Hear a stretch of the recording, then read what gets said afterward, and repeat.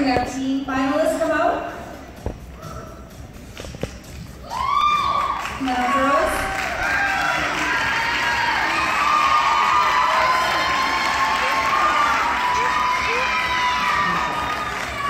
In fifth place from Summit Dance Shop, Veronica. Fourth place from Lake Area Dance Center, Olivia. From Premier Dance, Rachel. And our new National Teen Dancer of the Year,